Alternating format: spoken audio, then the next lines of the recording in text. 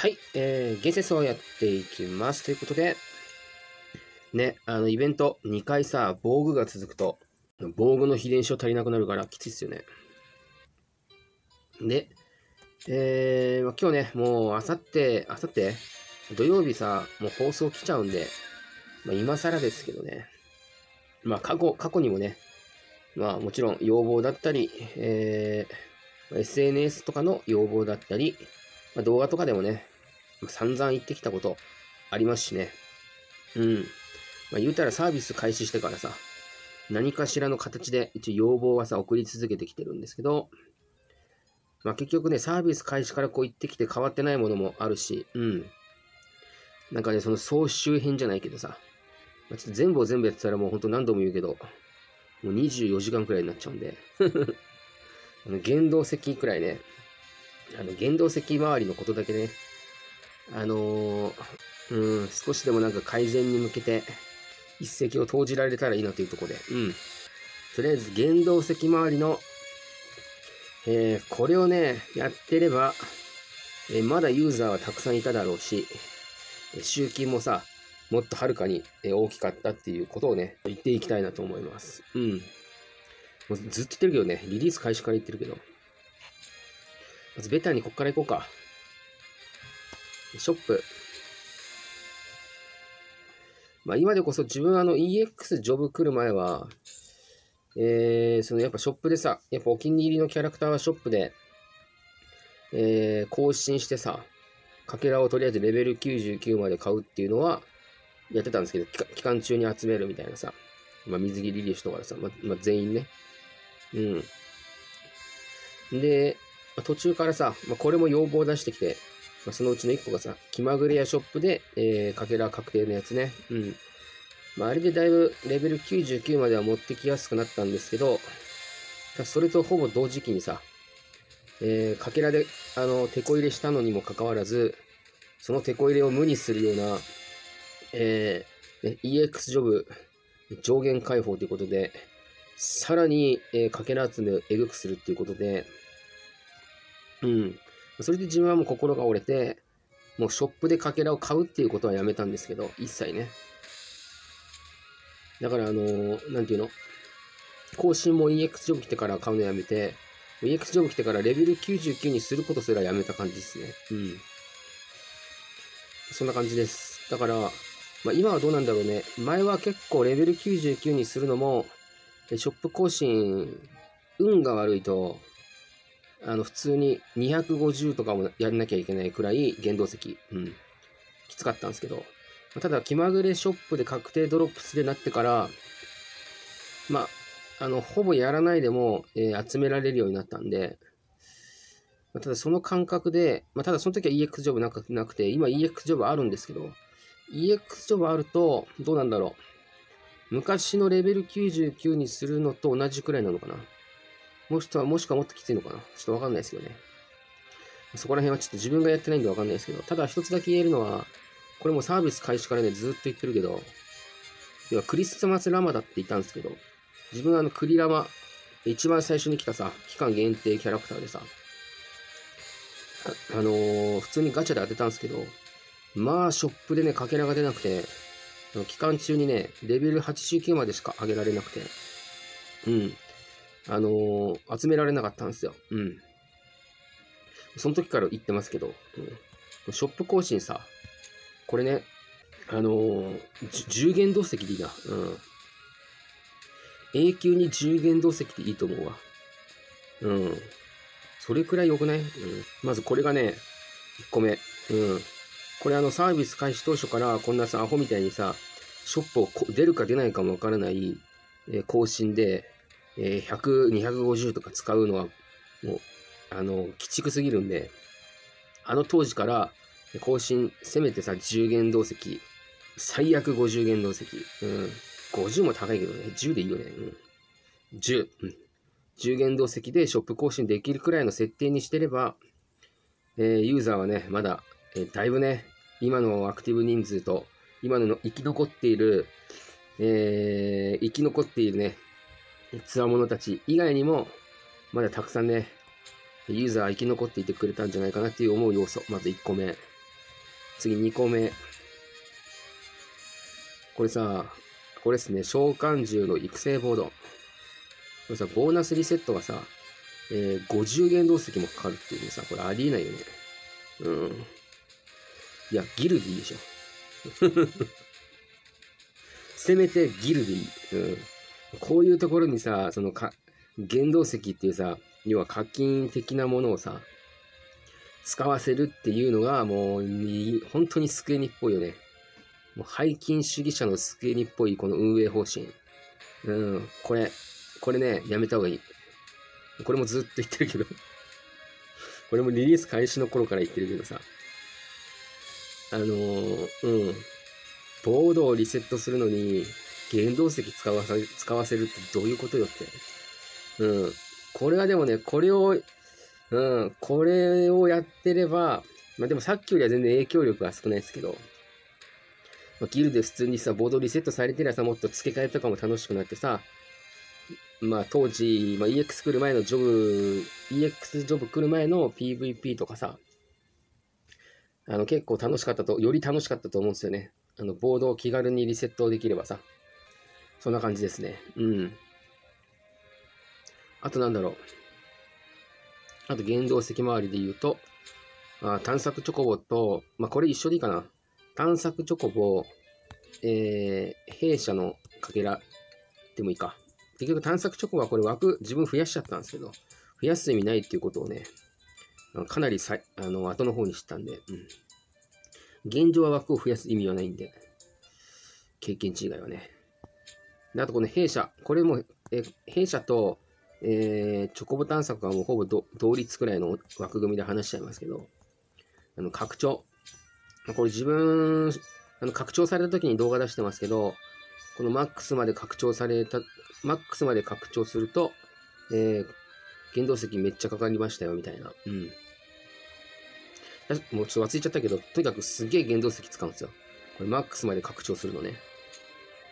えー、こういうさ、これもさ、別にさ、拡張さ、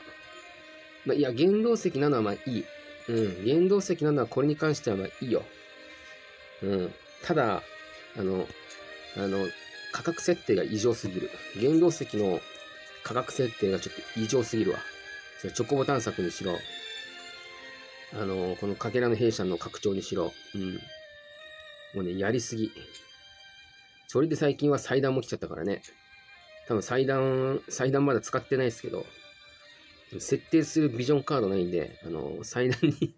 設定しないんで、このびっくりマークが消えないんですけど、もう鬱陶しいです、このびっくりマーク。びっくりマークが消えないっていうのは、A 型気質の自分にはね、もう気持ち悪くてしかないですね。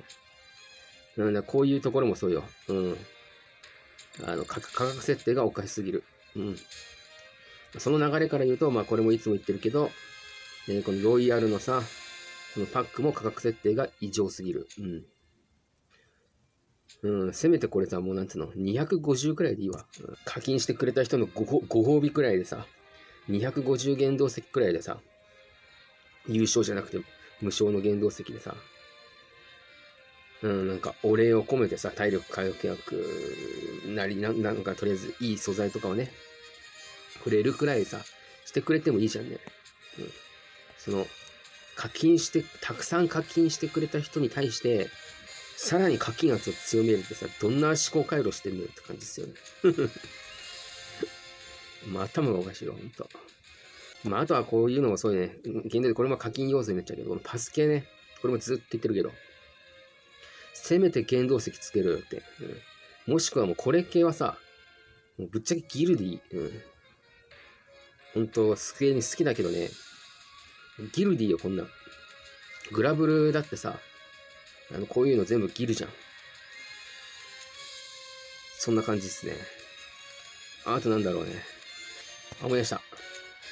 思い出しました。あとはそうそうそう、さっきのこのロイヤルつながりで、えこれさ、ロイヤルランク8、8じゃないと、えー、倍速機能2倍は使えないってなってるんですけど、自分今でも、一応、でも前は、前はね、月1くらいで一応要望出してたんですけど、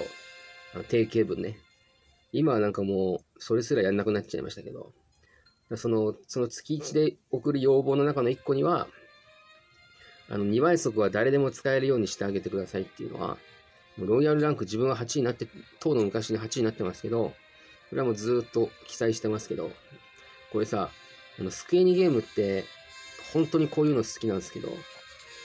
さっきのパスにしろ、そう、パスにしろ、弊社の拡張にしろ、この動画で今言ってきたことの要素すべて、うん。全部こういうさ、課金絡める必要ないものにも課金圧を強めてくるっていうね。うん、スケーニゲーム特有のさ、ゲームセンスはより顕著だしね。うん。これ前も話したけど、ね、メビウスファイナルファンタジーが、えー、がサービス終了してるんですけど、あれがなぜサービス終了したかっていうのは、えー、本当ならね、まだもうちょっと、まあ、いつかサービス終了するでしょう。多分メビウス、メビウスはね。うん。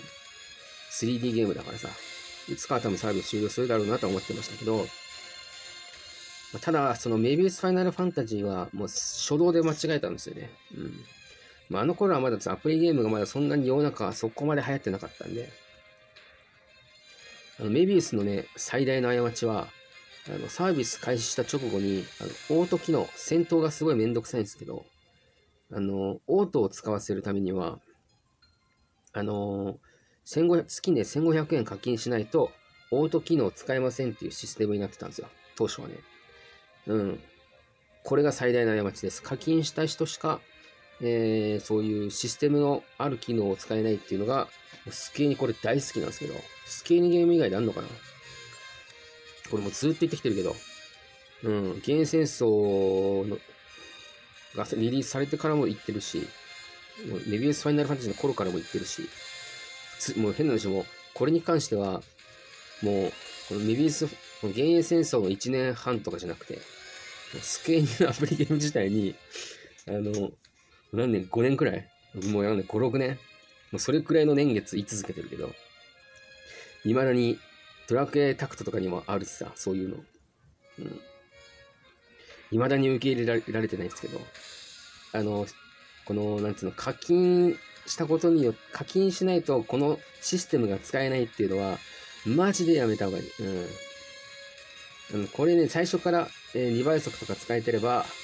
えー、まだね、結構、ま、今日言ってきてる要素っていうのは、あの、これをもう最初の頃からやってれば、えー、もっとユーザーは生き残っていただろうし、うん、もっと集金もできていたんでしょうっていうことなんですけど、うん。結局2倍速だってさ、最初から使えればさ、もっと快適でさ、ただでさえ瞬間えぐいんだからさ、そういう生き残ってきたユーザーがさ、ね、別に、ね、数万円とは言わないよ。もう数千円でも課金してくれる可能性があるならさ、最終的にだから集金できる額が大きくなるんだから、その人たち、その、もしその生き残ってるはずだった人間がさ、ファイナルファンタジー7コラボ来たらさ、その、今回はファイナルファンタジー7だから課金しようとなるわけじゃないですか。うん、その、その可能性すら、あの、スケーニングアプリゲームっていうのは断ち切っていくんで、うん、とにかく背筋主義で、うん、すごいよね。可能性すら自ら潰していくんだからね。スタート地点から。うん。うん、そんな感じですね。だからこれも、これ何年もスクエニに、スクエニさんに言い続けてるけど、システム面に課金要素入れるなっていうの。誰でも使わせるようにしようって感じですね。うん、そんな感じ？あとまだなんかあるかな？あとなんかあるかな？ちょっともう思いつかないですね。原動石もあり。あとは毎回、これも毎回言ってるけど、えー、この原動石ののバイパックあるじゃないですか。スペシャルパック。あれさ、なんか今はさ、そういうコラボの時とかしかやんないですけど、あれね、毎月あってもいいと思いますよ。うん。その方が多分ね、もう今更だけど、これもずっと言ってるけど、あの、あるポイントだけバーンってやったらもちろん効果はあるんですけど、毎月毎月月頭にリセットみたいな、え各パック1個ずつでもいいよ。1個1個ずつでもいいから、えー、毎月毎月やる方が、えー、ね、結果集金は多かったはずですよ。うん。ま、今はもうユーザー減っちゃってるから、ユーザー減っちゃう減っちゃってるし、自分みたいにも、ね、月10万くらい課金してたけども、心が折れて、もう一切課金しないって、もう、かたくなに心に誓ったんで、今はもう逆にね、何度も言うけど、今は逆に、なんていうの、そういうポイントポイントでやった方が、背筋者からより集金できるからさ、自分も毎回これ、パック全部、発売されるために、あの、パック全部購入してたんで、バイパック全部購入してたんで、まあ、原動石じゃないですけどね、原動石じゃないですけど、こういうブグとかだってそうっすよ。うん。このブグと、ブグとかだってそうです。強化リセットっていうのをするためには、えこの打ち直しの金槌っていうのを使わなきゃいけないんですけど、打ち直しの金槌、金槌はね、それなりに、え貴重なアイテムでさ、うん。まあ、課金すればすぐ手に入るんですけど、基本的には、まあ、モグショップだったりね、で交換することになるんですけど、うん。こういうさ、強化リセット、さっきのあの、召喚時のボードリセットもそうですけど、別にこんなんさ、ギルでいいやん。別に。別にギルでいいよ。別にさ、打ち直し金槌金槌をわざわざさ、課金して買ってまでさ、えー、完走できるかもわからないさ、やらないでしょ。それするやつは多分、打ち直し金槌をわざわざ、えー、ショップで課金して買うやつは、その、その前に、えー、ブグ育成パス買うわ。うん。うん。買うやついないんだからさ。別にいいじゃん。いないんだからギルでいいじゃん。うん。そういうつまんないさ、可能性のために、ユーザー減らしてどうすんのって感じですね。さっき、さっき言いましたけど、そのね、今後課金してくれる可能性すらあるものを切り捨てるよりも、スクエニさんは、えー、もしかしたら、えー、この打ち直し金槌を買ってくれる人がいるかもしれない可能性の方に道を作るんですけど、違うよ、逆だよ、逆。逆、うん。逆逆。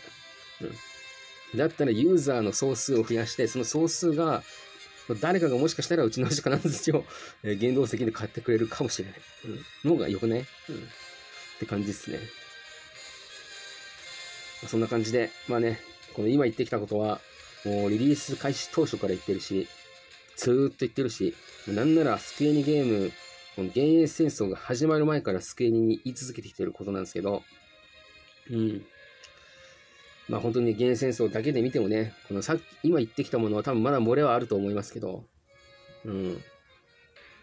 もうその今言ってきたことだけでも、原動石周りのこの部分だけでも、えー、サービス開始当初から、ちゃんと自分サービス開始当初からちゃんと言ってるんで、うん、ちゃんと受け入れてやってくれてれば、多分ユーザーは持っていたし、えー、こんな、マジで今、今なんてさ、この、今イベント来てますけど、えー、レミューレのさ、この、これ話長くなっちゃうから言わないけど、レミューレの、この獲得 EX クエスト、マルチとかさ、マジでさ、あの、昨日夜やったら誰もいなかったっすよ。夜つか夜中。誰もいない。うん、やばくないですか？このイベント来たばっかですよ。夜中、あの、ルームに入ったら誰も、誰もいないっていう。うん、やばいでしょ。まあ、サービス開始からさ、ちゃんとさっき言ったようなことをやってればさ、もっとワイワイしてたよ。うん。誰ともマッチしないマッチバトル。こんなことになってないよ。うん。まあだからユーザーの数もそうだし、うん、もっと言うと集金だってさ、本当ね、なんでわかんないのかな不思議だよね。うん。今言ったことをやってた方が、現在多分そう、えー、総売上の多分、なんて多分一桁くらい違うはず、ね。数倍くらい違うと思うんで、今言った、今言ったことだけでも、サービス開始当初からやってれば、多分売り上げも、え現在の数倍くらい違うと思うし、えー、やってくれてるユーザーの数も数倍くらい違うと思うし、うん。今言ったことだけでもね、他にも今、今は原動石周りのことしか言ってないですけど、えー、ね、まあ今話さないですけど、まあいろ、そのその他いろんな要素をややれば、えー、もっとね、すごいことになってた、だですよ。ね、今言った原動石のものだけでも、今の数倍になるんですよ。売り上げも、えー、ユーザーの数も。なんでそれがわからないんだろうね。不思議だよね。そんな感じです。ま、ただもう後の祭りだけどね、これ毎回動画で言っちゃってるけどさ。ただもう、うこれもずっと言ってきてるけど、あのー、遅くなれば遅くなるほど、手こ入れは難しくなっていくし、どんどん後の祭り感がどんどんなっていくし、どんどんどんどん引き返すことが困難になっていくので、うん。もう今はもうその最終ラインも自分何回も動画で警告してますけど、そろそろ最終ラインですよって。ここ超えたらもう戻ってこれないですよって。うん。もう EX ジョブの時くらいにも言ったかな。うん。もうユーナと、まあ、要は FF10 のキャラに EX ジョブつけたら、あのー、もう帰ってこれないですよ、みたいな。まあ今日はね、原動石の話ということで、ただもう、よくよく考えたらもう、あさってですからね、放送。放送、あさってなんで、本当は毎日放送までにさ、全部は全部無理だけど、そういう主だったところだけね、ピックアップして、あの放送までに運営に抗議するっていう意味でも、今回は原動石編みたいな。明日は何？わかんないけど、ブグ編とかさ。あさってはユニット編みたいな感じでで、この日はビジョン編みたいな感じでやろうと思ったんですけど、ただもうよくよく考えたらもうあさって放送なんで、今回のこの原動石編で終わりかもしれないですけどね。うん。そんな感じで、うん。えー、原動石周りでね、え、リリース開始当初からね、言い続けてきたことをね、ちょっと一本の動画にね、まとめてみました。うん。まあなんとかね、まあ放送あさってですけど、ずっと言ってきてるけど、何かしらの大幅なテこ入れを発表しないと、えー、もうファイナル、もう今ね、ユーザー目超えてるから、アプリゲームって。これね、多分上気づいてないから言っときますけど、アプリゲームって、もうそれなりに、どのゲームもレベル高い。その中で、全部を全部に、えー、ね、廃課金してらんないんで、ユーザーっていうのは、えー、課金するべきゲームとかね、厳選していくわけなんで、うん。少なくとも今その候補に幻影戦争は入らないですね。うん。だからね、本当にユーザーの目はもう一昔前の多分もう数倍、5、6倍くらい多分厳しくなってるんで、うん。それね、もしかしたら気づいてないかもしれないんで、自覚した方がいいと思いますよ。もう今現在のこのファイナルファンタジー7のコラボしたからお前ら課金するだろう、わはははは、みたいな思考回路だと思うんですけど、あのもうね、ユーザー今その段階にいないですからね。うん。それはね、ちょっと自覚した方がいいと思います。うん。そんな感じで、どうもありがとうございました。